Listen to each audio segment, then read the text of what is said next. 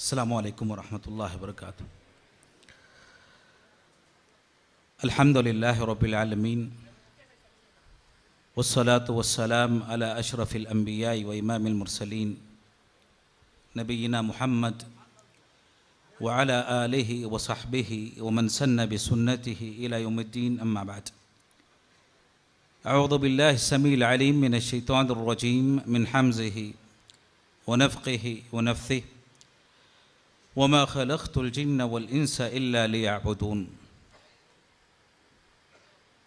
मुआज़ उलमाए कराम ज़िम्मेदारान जमात हादिरीन मजलिस जैसा कि आपने सुना तौहीद से मुतक़ कुछ बातें मुझे आपके सामने रखनी है। तोहीद का ज़िक्र तो बहुत होता है। लेकिन हम में के अक्सर लोग तोहीद की हकीकत, उसके माने और मफहूम से नाआशना हैं।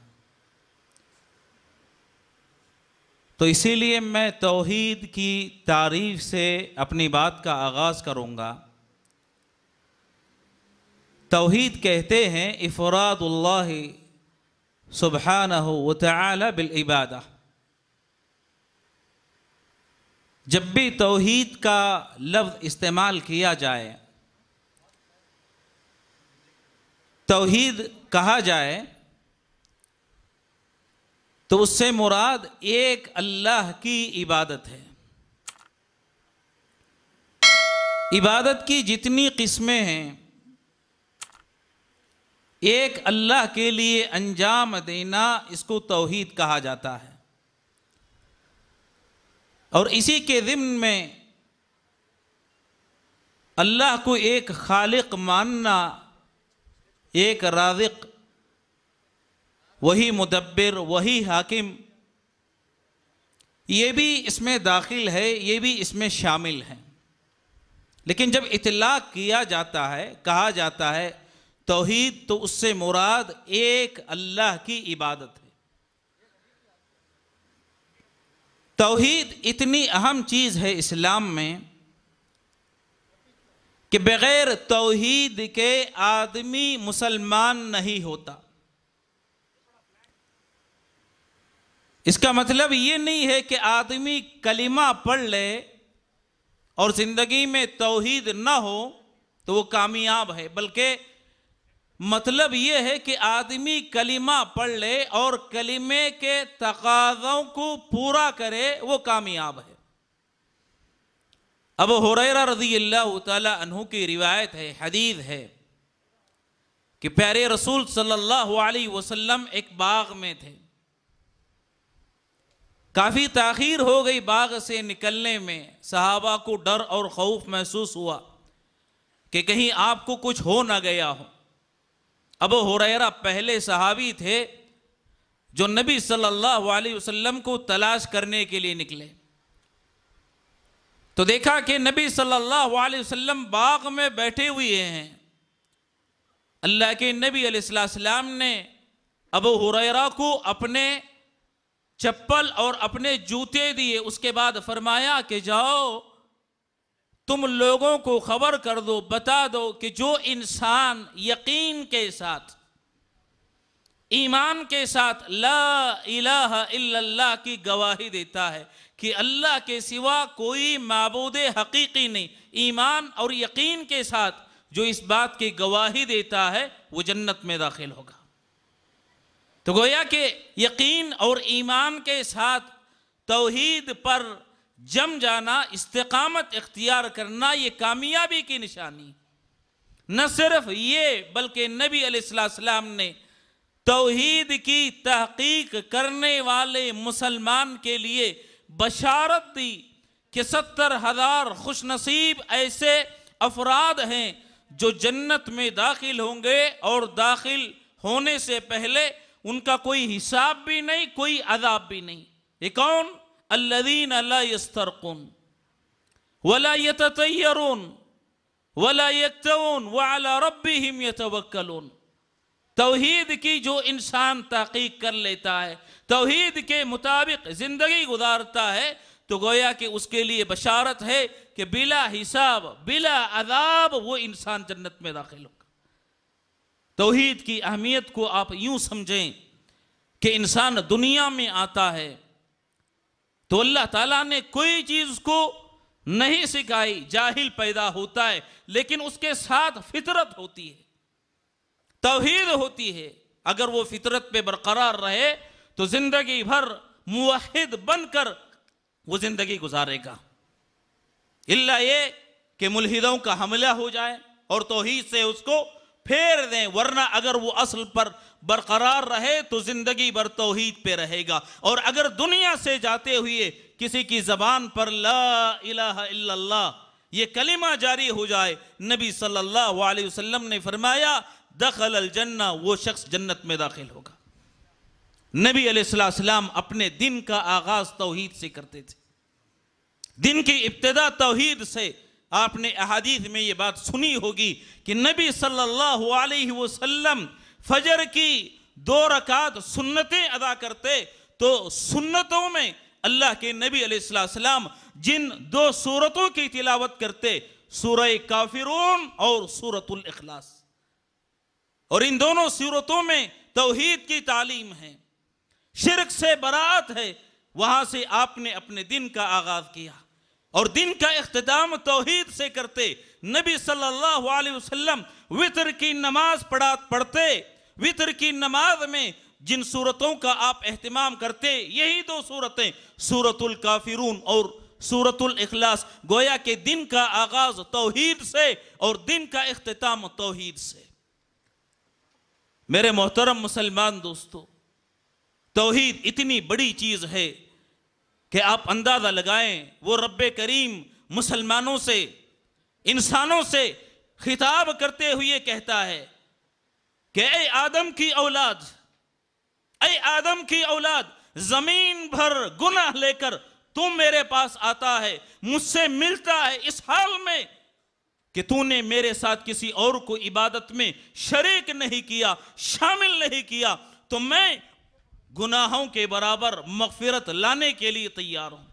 तेरे सारे गुनाहों को माफ़ करने के लिए तैयार हूँ। अल्लाह सारे गुनाहों को माफ़ कर सकता है, अगर इंसान के पास तौहीद हो और उसने अपने आप को शिरक से बचा लिया।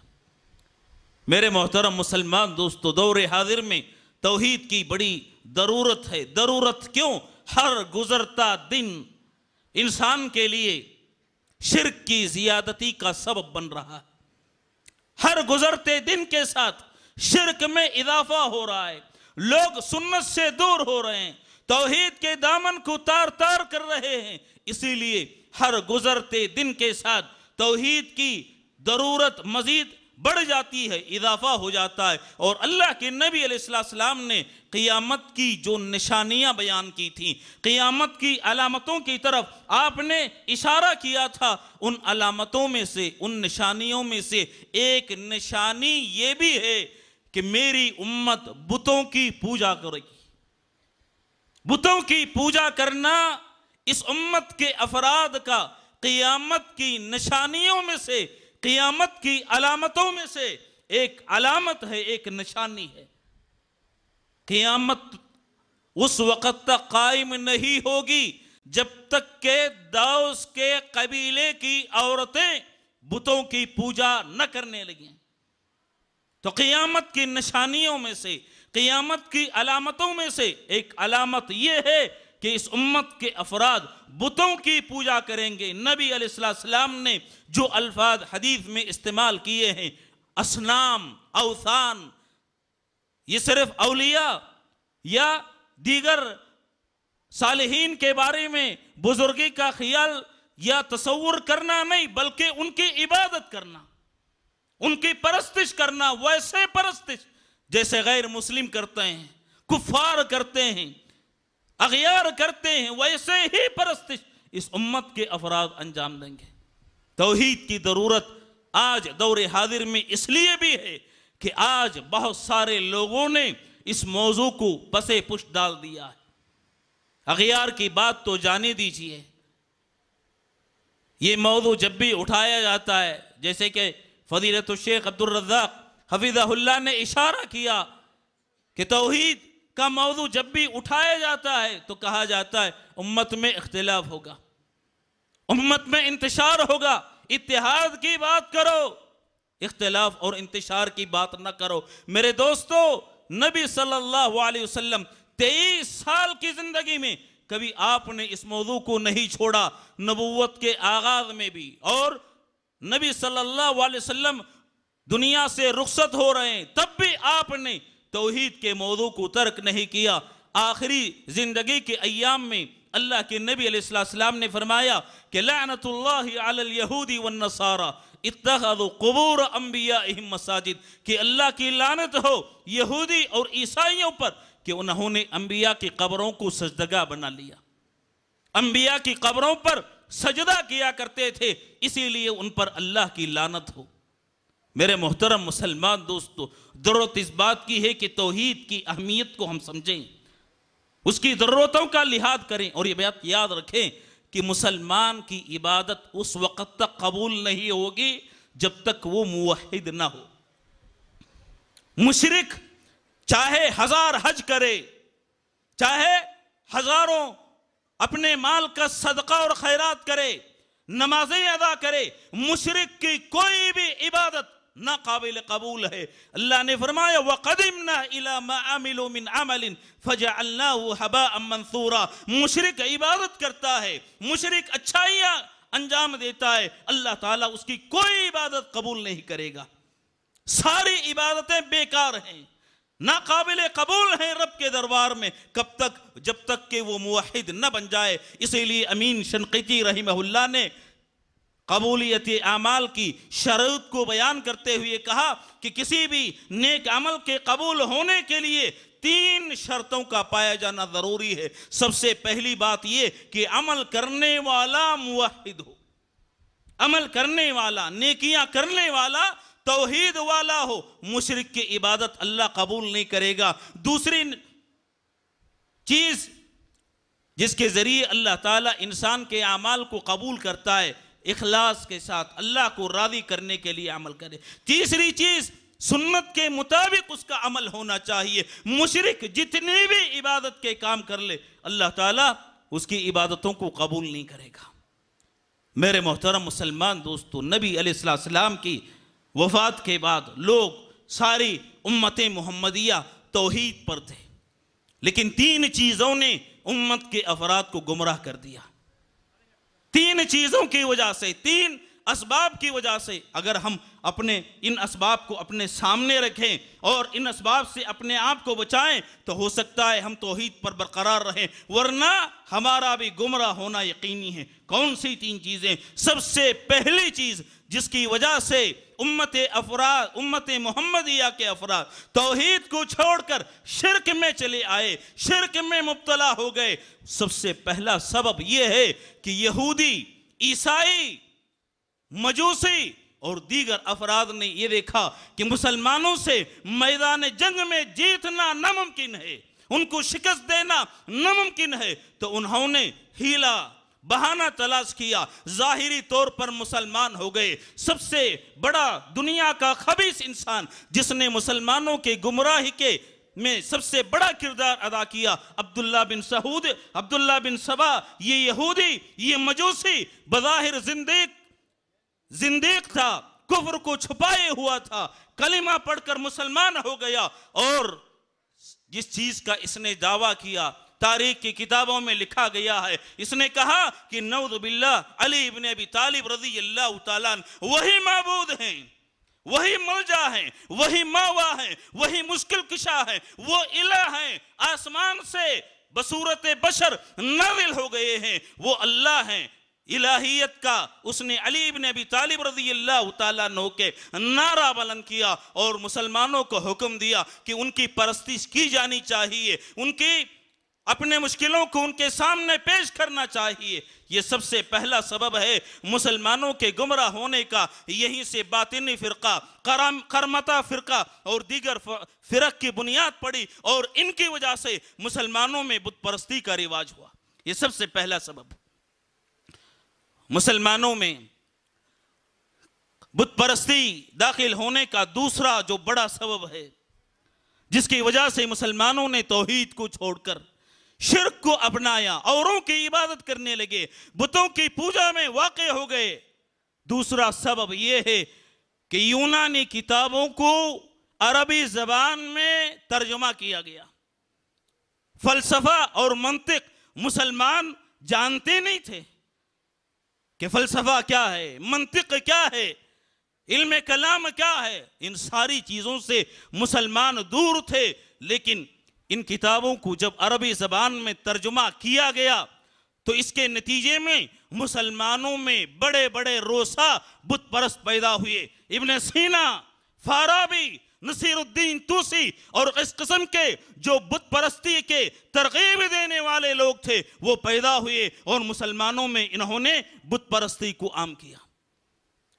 बुत परस्ती और शिरक आने का तीसरा जो सबब है मुसलमानों में तीसरा जो बड़ा सबब है, औरों की जो इबादत होती है, कब्रों का जो तवाफ होता है, बड़ों का जो सजदा होता है, उनके सामने तालीम के साथ लोग खड़े होते हैं।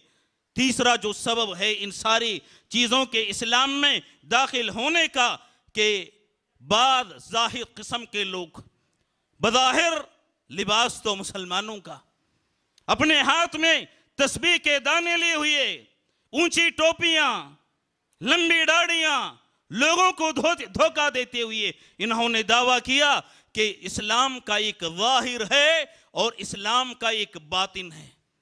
एक इल्म ज़ाहिर है और दूसरा इल्म बातिन है ज़ाहिर अवाम के लिए, बातिन खवास के लिए। इल्म ज़ाहिर ये अवाम के लिए, इल्म बातिन ये खवास के लिए है। और यहीं से इन लोगों ने दावा किया तसवुफ का, जहद का, रूहानियत का और इल्म तरीक़त का, जिसकी वजह से जो चीज़ मुसलमानों में दर आई, जो चीज़ पैदा हुई मुसलमानों में, हलूल और इतिहाद इनमें के बाद यहाँ तक कहने लगे, वमल कल्ब वल खिंजीर इलाहुना नौदबिल्ला ये कल्ब, ये खिंजीर हमारे महबूद हैं। इनमें अल्लाह दिखाई देता है। खूबसूरत जो चेहरे होते हैं, उसमें अल्लाह ताला तजल्ली करते हैं, गोया कि इनको देखना रब का दीदार करना है। यहीं से बुत परस्ती का आगाज़ हुआ। ये तीन बड़े इसबाब हैं मुसलमानों में शिरक के ज़ाहिर होने के लिए। सबसे पहला सबब मैंने बयान किया कि नबी सल्लल्लाहु अलैहि वसल्लम के इंतकाल के बाद अब्दुल्ला बिन सबा बज़ाहिर मुसलमान होता है, लेकिन कुफ्र को छुपा कर इसने अली इब्न अबी तालिब रज़ी अल्लाह के इला होने का दावा किया। इसके नतीजे में बातिन फ़िरक़े ज़ाहिर हुए और मुसलमानों में बुत परस्ती दर आई दूसरा जो सबब है, मुसलमानों में बुत परस्ती के आने का, औरों की किताबों का तर्जुमा किया जाना, उनका पढ़ा जाना, मुसलमानों में उनकी तालीम को आम करना। ज़रा यहाँ पर मैं रुकना चाहता हूँ। और आज हमारे जो आमाल हैं, हमारा जो किरदार है, उनका जायज़ा लेना भी यहाँ मकसूद हैं। ज़रा गौर करें कि नबी अलैहिस्सलाम तोहीद की जो दावत देते थे, आप सल्लल्लाहु अलैहि वसल्लम तोहीद की तालीम को उम्मत के अफराद में जो आम किया, उसका तरीका क्या था? और आज हम तोहीद की जो दावत देना चाहते हैं मुसलमानों को, हमारा अपना तरीका क्या है? नबी अलैहिस्सलाम ने कभी औरों की किताबों पर एतमाद नहीं किया तोहीद की दावत देने के लिए। एक वाकया बता दीजिए कि अल्लाह के नबी अलैहिस्सलाम ने कुरान की आयतों को छोड़कर, अहादीस मुबारक को छोड़कर कभी तौरात का सहारा लिया हो, कभी इंजील का सहारा लिया हो, कभी किसी और किताब का सहारा लिया हो, बल्कि नबी अलैहिस्सलाम की हालत तो ये थी कि अल्लाह के नबी अलैहिस्सलाम ने एक मरतबा उमर फारूक रज़ी अल्लाह को तौरात का मुताला करते हुए देखा। तौरात को पढ़ते हुए देखा। उमर रज़ी अल्लाह तौरात का मुताला कर रहे हैं और नबी अलैहिस्सलाम का चेहरा सुर्ख होता जा रहा है। गुस्से से बदलते जा रहा है। अल्लाह के नबी अलैहिस्सलाम के तगैरत को दीगर सहाबा ने महसूस किया। उमर फारूक रज़ी अल्लाह तु को इशारा किया, क्या तुम अल्लाह के नबी अलैहिस्सलाम के चेहरा, चेहरे के तगैरत को नहीं देखते कि आपका चेहरा गुस्से से सुर्ख हो रहा है? उमर फारूक निगाह उठाते हैं। अल्लाह के नबी अलैहिस्सलाम के चेहरे को देखते हैं, गुस्से को मुलाहदा करते हैं, घुटनों के बल बैठ जाते हैं। कहते हैं रदी रदी तो बिल्लाह रब्बन। वबिल इस्लाम दीनन वबी मोहम्मद वसल्लम नबी रसूला रदीतु बिल्लाहि रब्बन वबिल इस्लाम दीनन वबी मोहम्मद वसल्लम नबी रसूला ये कलिमात सुने। अल्लाह के नबी अलैहिस्सलाम ने आपका गुस्सा ठंडा हुआ। अल्लाह के नबी अलैहिस्सलाम को ये भी गवारा नहीं था। ये भी गवारा नहीं था कि अल्लाह की किताब को छोड़कर तौरात का भी मुताला किया जाए, जबकि तौरात अल्लाह की तरफ़ से नादिल होने वाली किताब है। नबी अलैहिस्सलाम ने फरमाया कि लौकाना मूसा हयन लमा वसी इल्लतिबाई अगर आज मूसा अलैहिस्सलाम ज़िंदा होते, उनको भी मेरी इत्तिबा करनी पड़ती। उनको भी मेरे तरीके पर चलना पड़ता। उनको भी मेरी सुन्नत अपनानी पड़ती लौकाना मूसा हयन लमा वसी अहो इल्लतिबाए मेरे दोस्तों, गौर कीजिए कि आज हमारी अपनी मजालिस में, अपनी महफिल में, अपने स्टेजों से, अपनी मस्जिदों के मेंबरों से किस चीज़ को पढ़ा जाता है, तोहीद को बयान करने के लिए किसका सहारा लिया जाता है, कभी वेद का, कभी इंजील की आयतों का, कभी तौरात के बाद नसूस का, ये कौन सा दीन है, ये कौन सी शरीयत है, ये कौन सा दावत देने का तरीका है। कुरान में अगर तासीर नहीं है, ना होती तो अल्लाह के नबी अलैहिस्सलाम कुरान से दावत ना देते, तौरात से दावत देते, इंजील से दावत देते। आपने कभी तौरात और इंजील को इस्तेमाल नहीं किया, कुरान को असास बनाया तो मालूम ये हुआ कि तासीर कुरान की आयतों में और लोगों के गुमराह होने का आप जानते हैं, सबसे बड़ा सबब क्या है? औरों की किताबों पर एतमाद करना इल्म कलाम पर एतमाद करना। मंतिक पर एतमाद करना फलसफे पर एतमाद करना यहाँ बात मैं बताना चाहता हूँ। कि दीगर किताबों के मुताले का इंसान की ज़िंदगी पर असर क्या होता है? वो नाम का अहले हदीस तो होगा, लेकिन वो दर हकीकत अहले हदीस नहीं। वो सलफी तो अपने आप को कहलाएगा, लेकिन वो सलफी नहीं। उसके अमाल, उसके अकवाल, उसका किरदार सलफियत की गवाही नहीं देता। क्यों? वेद के नसूस पढ़ता है। कहा? मुसलमानों की महफिलों में। मुझे बताओ, कौन सा दीन है? क्या आज से पहले उलमा नहीं थे?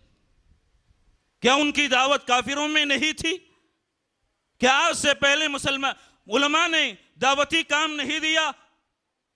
दावती काम नहीं किया?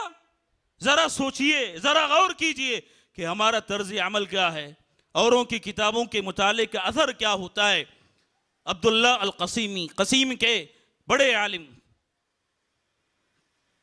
उन्होंने किताब लिखी असरा बैन अलवतनी अवल इस्लाम रवाफिद की तरदीद में, इस ज़माने में लिखी जाने वाली किताबों में से एक अहम किताब असरा बैन अलवतनी अवल इस्लाम। बड़ी अहम किताब। बड़े आलिम। सऊदिया के आलिम, कसीम के रहने वाले। नाम अब्दुल्ला। और वतन के हवाले से कसीमी कहलाते हैं, कसीम के रहने वाले। किताब लिखी इमाम हरम ने उस वक़्त। इस किताब की बड़ी तारीफ़ की, अपने अशार में। ये मिस्र गए। मिस्र में अहले कलाम, यहूदी ईसाइयों के अखबारात में कुछ आर्टिकल छपा करते थे। इन्होंने इनका मुताला शुरू किया। इनको पढ़ने लगे, इनका मुताला करने लगे। नतीजा यह हुआ कि आहिस्ता आहिस्ता दीन से दूर होते गए। दीन से दूर होते गए, दीन से निकलते गए। एक वक्त ऐसे आया कि मुलहिद हो गए, अल्लाह के मुनकिर हो गए। आप तस्वूर कर सकते हैं कि असरा बैन इस्लामी वसनिया जैसी किताब लिखने वाला आलिम मुलहिद भी हो सकता है जिंदीक भी हो सकता है, अल्लाह का मुनकर भी हो सकता है। उस वक़्त के मलिक अब्दुल अज़ीज़ रहीमहुल्ला ने उन्हें नसीहत की। खत लिखा, कहा कि तुम हमारे ममलकत के एक फर्द हो। हमारे अपनों में से हो। इसीलिए मैं तुम्हें नसीहत करता हूँ। मैं तुम्हें वसीयत करता हूँ कि जिस इलाहाद को तुमने इख्तियार कर लिया है, दीन को छोड़ दिया है, उससे तोबा कर लो। उसे बाज आ जाओ। किनारा किसी इख्तियार कर लो। लेकिन तस्लीम नहीं किया नसीहत को। जब उनका इंतकाल हुआ, उनके कुछ खास अफराद उनके साथ मौजूद थे उनका बयान है। वो कहते हैं कि इंतकाल करते हुए उन्होंने कहा कि मैं अपने दिल में तारीकी महसूस करता हूँ। अपने दिल में जुल्मत और तारीकी मुझे महसूस होती है। दीन की तरफ़ लौटना चाहता हूँ, लेकिन मेरा दिल साथ नहीं देता। मेरा दिल साथ नहीं देता। मेरे मोहतरम मुसलमान दोस्तों, इसी हालत में वो दुनिया से रुखसत हो गए। गुमराह हुए। मुलहिद हुए, दीन से दूर हुए, वजह क्या थी? अगियार की किताबों का मुताला करने की वजह से मुलहिद हो गए और अपने दीन को, अपने ईमान को उन्होंने तर्क कर दिया। क्या जमानत है कि आपका तोहीद ज़िंदगी के आखिरी सौ सौ तक आपके साथ बरकरार रहेगा? आप मुसलमान रहेंगे, आप सलफी रहेंगे। दुनिया को कोई इंसान ही इसकी जमानत दे सकता। तोहीद को बचाने के लिए सिर्फ़ नारे काफ़ी नहीं है। इंसान का अमल भी चाहिए। इंसान का किरदार भी चाहिए, दुआ भी चाहिए, जो दुआ इब्राहिम अलैहिस्सलाम ने किया था, वो जुनुबनी, वो बनी अन्नाबुदल असलाम कहे मेरे परवरदिगार मुझे और मेरी औलाद को बुतों की परस्ती से बचाना? अगर इब्राहिम अलैहिस्सलाम अपने आप की जमानत न दे सके, दुनिया का कौन मुसलमान है जो अपने नस की जमानत दे सकता कि बुतों की पूजा नहीं करेगा?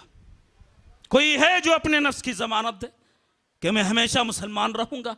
नबी अलैहिस्सलाम दुआ करते, या मुकल्लिब अलकुलूब सब्बित कल्बी अलादीनिक या मुकल्लिब अलकुलूब सब्बित कल्बी अलादीनिक मेरे मोहतरम मुसलमान दोस्तों, आज तोहीद की बड़ी ज़रूरत है। तोहीद को, बच्चे बच्चे को समझना चाहिए। नौजवानों को उस पर इस्तकामत इख्तियार करनी चाहिए। बूढ़ों को उस पर बरकरार रहने की कोशिश करनी चाहिए। पता नहीं ये दौलत हमसे कब छूट जाए, कब खत्म हो जाए, तोहीद खत्म हो जाए तो इंसान का सब कुछ खत्म हो जाएगा। कुछ भी बाकी नहीं रहेगा, तोहीद के साथ। न नमाज़ बाकी है, तोहीद के बगैर न नमाज़ बाकी है, न रोज़ा बाकी है, न हज बाकी है, न सदका और खैरात बाकी है। इसीलिए मेरे मोहतरम मुसलमान दोस्तों, तोहीद को अपनी ज़िंदगियों में लाजिम पकड़ लो, उसकी ज़रूरत को महसूस करो। आज माशरे पर निगाह डालते हैं, निगाह दौड़ाते हैं। शिरक अकबर के कई कई मज़ाहिर हमें देखने को मिल जाते हैं।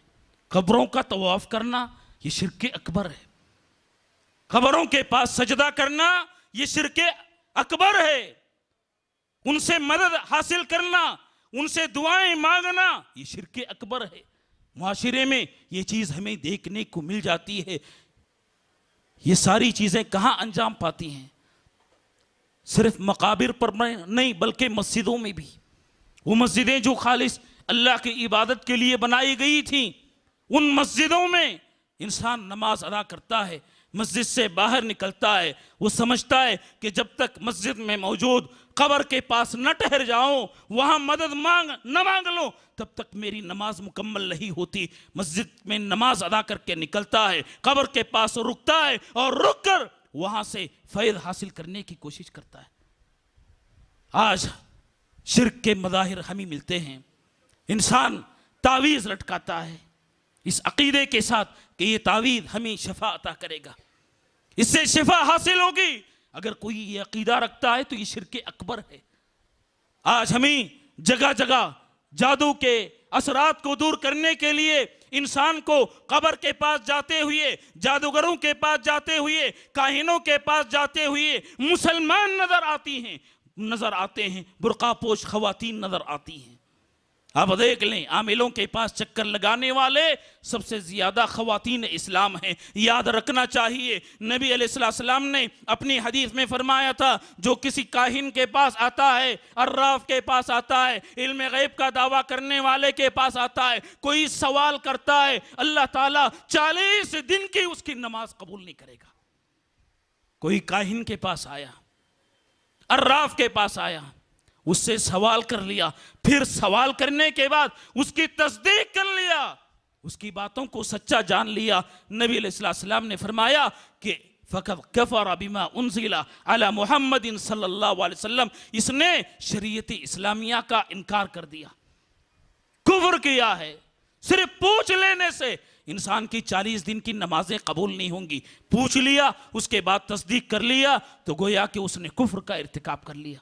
ये सारी चीज़ें आज हमें माशरे में मिलती हैं। ज़रूरत इस बात की है कि तोहहीद को आम करें तोहहीद के लिए अपनी जान, अपना माल, अपने अवकात को कुर्बान करें और जो कोशिशें हमसे हो सकती हैं, माशरे में तोहहीद को आम करने के लिए, शिरक को ख़त्म करने के लिए उसको अंजाम देने की कोशिश करें। अल्लाह ताला से दुआ है कि अल्लाह ताला हम तमाम मुसलमानों को तोहहीद की अहमियत और उसकी ज़रूरत को महसूस करते हुए तोहहीद की दावत को आम करने की तोफ़ी अदा फरमाए। अल्लाह ताला जब तक ज़िंदा रखे ईमान, इस्लाम और तोहद पर ज़िंदा रखे। मौत दे तो अल्लाह तोहीद पर मौत दा फरमाए, हसन ख़ात्मा नसीब फरमाए, सोए ख़ात्मा से बचाए। आमीन। व आखिर अवान अलहमदिल्ला रबालमीन